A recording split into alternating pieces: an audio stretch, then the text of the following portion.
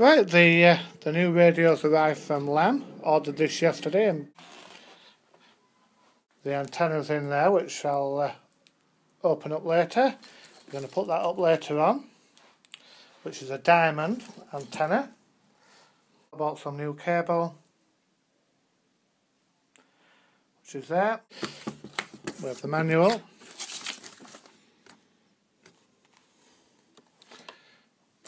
There's the main unit, power cable, microphone, I presume that's the head lead so we can have the head separate, brackets. And the uh, head unit. So I'll rig this radio up and then we'll come back and I'll let you have a look at it uh, working. Right, I've got the radio all rigged up now and I've downloaded the software and programmed the radio from the South Yorkshire Repeater Group which is absolutely brilliant for the D-Star stuff. And this is uh, GB7YD port C I believe.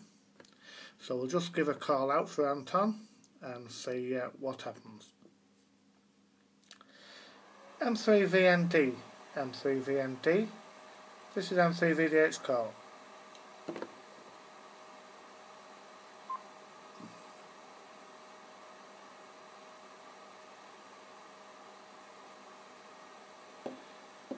Uh, Anton isn't on at the moment, but uh, just giving a little call out there just to show that working uh, perfect.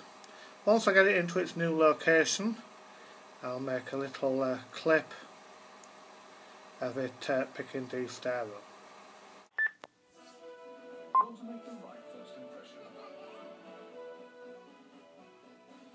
Well, I can tell you that's a great setup. Um, I, this, this I'm on an IC9280 ICOM, uh, two and a half watts, and I have a mag mount antenna, 5 8 wave.